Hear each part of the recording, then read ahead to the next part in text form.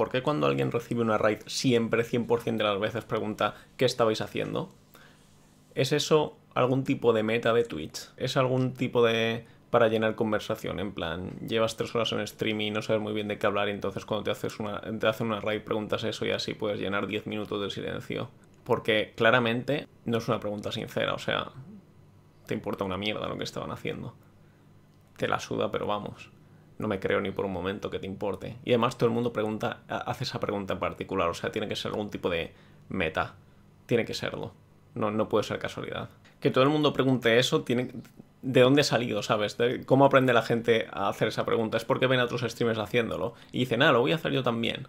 O qué, porque es raro. Es raro que todo el mundo pregunte eso. No es como, no es una pregunta obvia.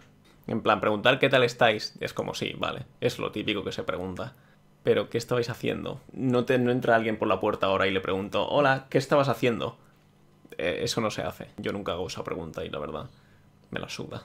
Es que me la suda lo que estabais haciendo.